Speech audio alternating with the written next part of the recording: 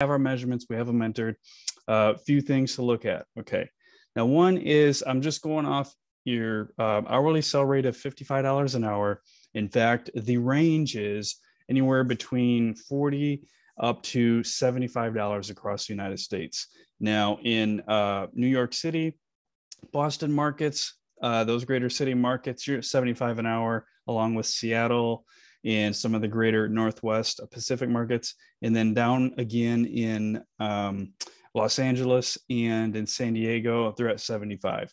But the rest of the country, uh, not going to be that high. In fact, in the Southeast, you're looking at around $45 an hour.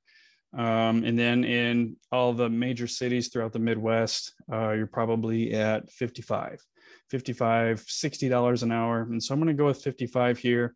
And then I'm going to go with average labor with burden with about 20 and you can adjust this and this is going to be really cool and you're going to be able to see too how that if you just raise your hourly sell rate uh, what that's going to do for your profits. Because in the sheet it's going to tell you exactly it says there's errors because we don't have measurements but it's going to tell you exactly how much profit you're making. So if it's less than 40% that's really bad you need to be making at least 40% to build a sustainable business okay and now if your gross profit is 50% or more that is a grand slam that's winner, winner, chicken dinner.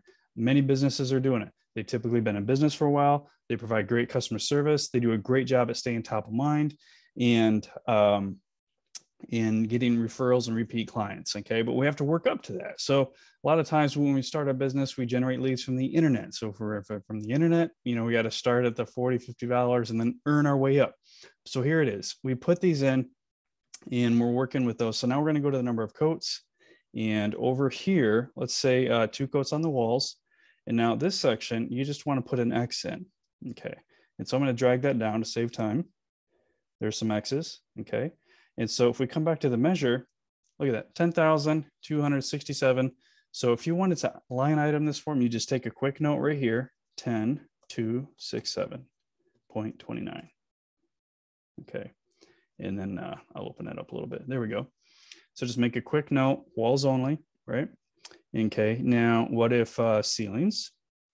One quote on the ceiling, and then I'm just going to copy this here, paste that there. Let's go back to our measure and see what we have. Well, look at this. So now we're going to say that equals, um, this equals 11073.74 takeaway, 10267. Two. Okay, there's the cost for ceilings. Now, excuse me, what if they would also like the uh, doors,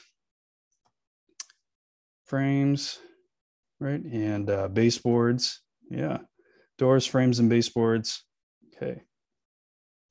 Paste those there, paste those there, paste those there. Whoops. Up here, you want number of coats, excuse me. All right, let's assume that's the case. So if you want uh, doors, frames, and baseboards, now doors and frames are separated because in the northern states, many of the door frames are stained. In the southern states, and even out in uh, California, a lot of the frames are painted. And so that's why we have them separated. So we go back to our measure. Now we're at like 12, 7, right? So now we're going to say this equals 1, 2, 701.5 takeaway the two numbers above. 806.45 take away 10267.29. Okay, and watch this. At the end of the video, I'm going to show you how to show them the exact um, hours it's going to take to paint it, which impresses the pants off them and uh, uh, makes a big deal and helps you to win more bids. Okay, so let's take a look at spread rates and cost real quick. Now, here is where you enter the spread rate of the paint. So a gallon of paint uh, the first coat is going to go 300 feet per gallon. This varies. It depends on the surface you're going over, right? Is it a smooth wall? If it's a smooth wall, it's going to go further. And it depends on the type of paint you're using. Some paint's high bodied and doesn't go as far. Uh, some paint's a little bit thinner and goes much further, right? So you can adjust this according to the typical type of walls you paint and the type of paint you use. These are just some averages right here. So first coat, uh, you might get 300 feet a gallon. And then the second coat and additional coats, you might get 400 feet a gallon. I'm going with the price of paint of around $50. Now adjust this to whatever you actually pay. However, when you do, make sure you include the tax with the cost of your paint, okay? Next, we have production rates. This here is just a guideline. You can adjust them according to how fast you guys produce or how slow and uh, depending on the work you're doing. So this is going to vary. Um, you know, residential repaints, how, how much furniture is in there? Do you have to hassle with animals? Hopefully not, right? Are there kids running around? These are some factors you want to consider. They're going to slow it down. And so you want to make sure that you are covered for that. And so, you know, like maybe it's 125 a feet, 125 uh, feet per hour, which is actually a good rate, 125 feet per hour. Um, then we have a factor here of 25%. That factor will make the difference of slow and fast when you update it later. Like for example, 50, see how it moves all those for you? But we're gonna leave 25 in there. And then you go to your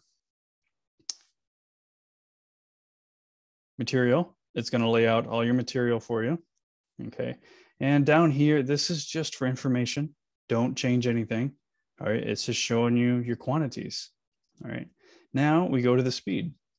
And here's where you can update the speed and you can say, you know what, um, maybe the, maybe, you know, we're gonna go really fast on the walls. And so you can, you can change that. And then at the very end, there it is. You've got your proposal. You can print this out. Okay. It's got the number on there. It's got the exclusions, the deposit amount. Okay. Um, and this one came, once we made some adjustments, it came to $9,897.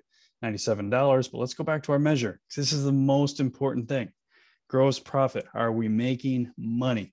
All right. I put some notes in here for you. So uh, explaining the gross profit. But the most important thing is make sure you're at least 40% gross profit. Okay.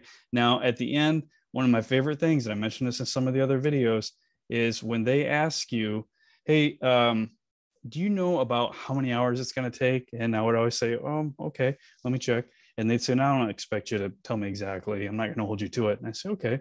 And I look down and here it is. And I'd say, um, oh, 125.4 hours.